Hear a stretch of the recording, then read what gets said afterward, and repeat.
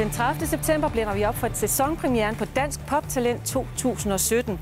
De næste uger vil vores 54 deltagere konkurrere om, hvem der skal gå videre til det store finaleshow i Forum Horsens. Og det er jo altså jer seere derhjemme, der kan stemme om, hvem der skal gå videre. Jeg tror godt, at jeg kan sige, at I kan glæde jer rigtig meget til fest og farver, når der skal høres en masse originalt, nyskrevet dansk musik. Så se med, når det går løs her på DK4.